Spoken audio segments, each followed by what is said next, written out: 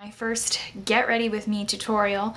Um, I've already done looks that are similar to this and I'm pretty sure you've seen me rock El Dorado eyeliner if you've been following me for some time now. Anyways, this is pretty much what I wore in my August favorites um, video. I just changed what I have on my lower lash line because I really wasn't wearing anything on my lower lash line in that video. So aside from that, uh, the eyes are nearly identical um, in color. I was wearing Urban Decay's Walk of Shame on the lid and Urban Decay's Secret Service in the crease, which I don't always show Walk of Shame in my videos because I know you have to buy the whole Build Your Own palette container to get it and I know not everyone wants to do that so I'm using this look with Inglot this time around so that you know it's a little bit more affordable I guess um, and anyways uh, just a nice nude face and a fun pink lip and I was wearing a fun pink lip in that video as well. So if you didn't see my August favorites, go and check that out. I will send that in as a video response. So all you have to do is scroll down the comments below to go ahead and check up on that. So to get started on the look, I've already taken 100% pure organic coffee bean caffeine eye cream.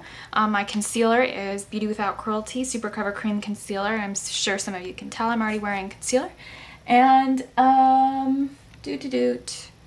Oh, here's where I put it. The All Natural Face Magic Vegan Eyeshadow Primer is all the way from my lid to my brow bone and a little under the eye. 12R, I'm going to be doing a mix of everything using the Volume Tool 777. And we're just going to go ahead and pop this on the lid and pull it through the crease all the way up to the brow bone.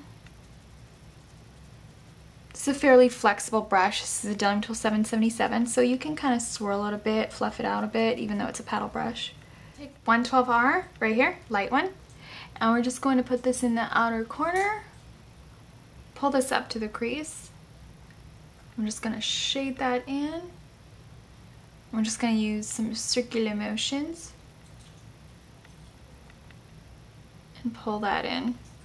Alright, now I'm going to take this dark color in the middle and I'm going to also take it from the outside. So mix the two dark shades together and put this into the outer corner.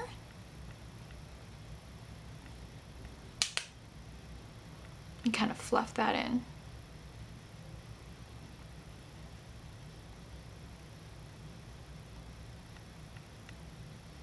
I'm going to take Anastasia Beverly Hills Brow Pencil in Matte Camille and we're just going to put this on the waterline. I'm going to take the Bdellium Tools 760 really fine angle brush. I'm going to dip this into the Inglot gel liner in number 77, looks like that. And we're just going to sorry about my phone get this going. I'm about to go into work. I'm just having a little discussion about the menu. I apologize. So I'm just gonna go ahead and put this up.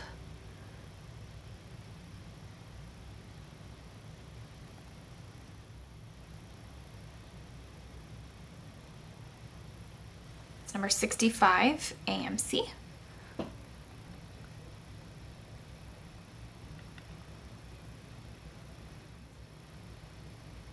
and get the gel liner off my forehead. I'm just to drop a little bit of the Matte Camille um, on the lower lash. And I saw this really cool thing where if you put a little bit of blue, you can actually make your eyes look very clear, but you're to just do a little bit, nothing, nothing extreme. I am going to be taking the Inglot, where are you? What's your number? The Inglot 371 matte.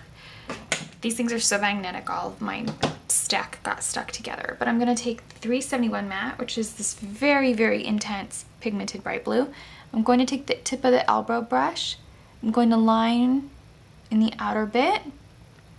I'm also gonna line in the inner portion all right, so then for the center, because you want to kind of blend this together and make it look seamless or easier on the eyes, I'm going to take uh, Inglot 111R. A little bolder, but you can always lower the intensity. Now I'm going to take uh, Urban Decay's 24-7 liner in El Dorado, and it's just a fun gold eyeliner.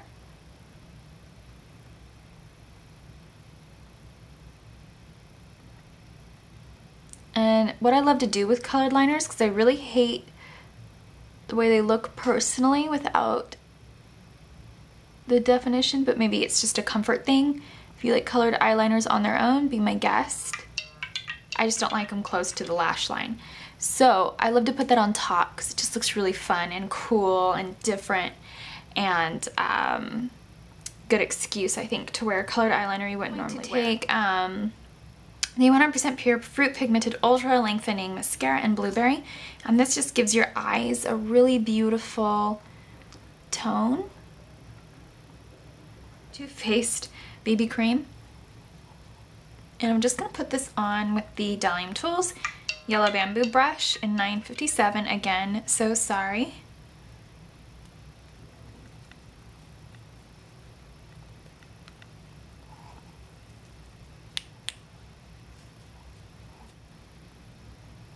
so you know what to expect. Super Cover Cream Concealer under my eyes. It's um, getting a little busier at work because of the holidays, so what I just want to do is clean this up a little bit. Don't pull it too... That's so cute.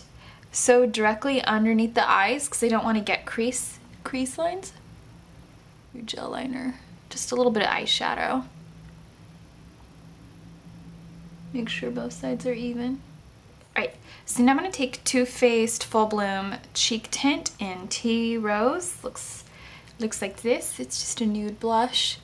I'm just to go ahead and pat this on. Um, I know somebody asked me for a dupe of Lillicent Cream Blush lately. Now I've never owned Lillicent from MAC.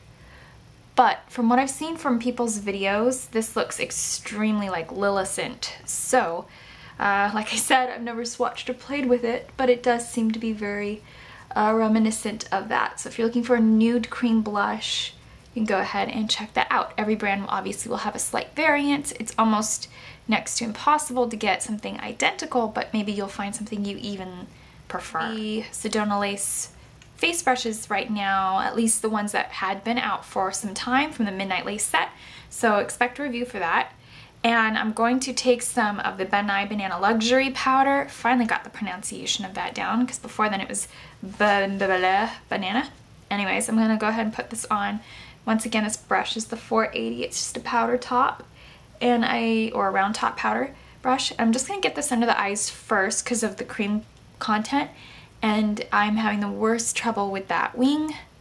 Just gonna remove that so I don't set it into the makeup that I'm wearing today. The um, Natural Transformation Brightening Powder in Peaches and Cream and it almost smells a little natural and fruity, really nice. So I'm just gonna go ahead and pop this on first.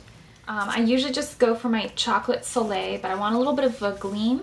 And um, obviously pressed bronzers bronzers or pressed makeup in general is pretty easy to use. And we're just gonna have to go with the clock in the back. I'm sorry because we're running out of time. And we're just going to, normally I try to cut out the sounds of the clocks changing out. out of frame when I do my lips for some weird reason. So I'm gonna zoom out a little bit. And Urban Decay Naked Lip Liner.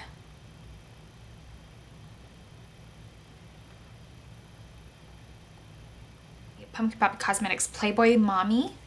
We're just going to dab this on. I'm trying to get